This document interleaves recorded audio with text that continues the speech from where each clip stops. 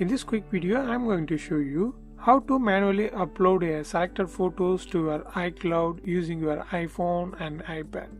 Okay, first open your Safari app, then type iCloud. Then click this. Yeah, now just tap sign in and it automatically fetch your Apple ID email. If you want to change this, click use a different Apple ID, otherwise click continue. Now using your Face ID, yeah, now it's automatically entered into iCloud. Yes, now scroll down a bit and you can see the option photos, click that.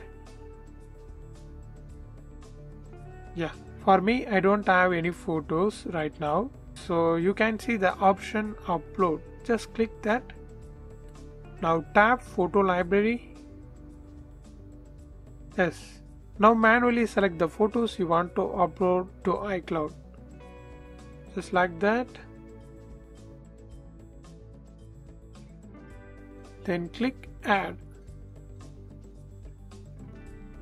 Yeah, now the 16 items are uploading to my iCloud.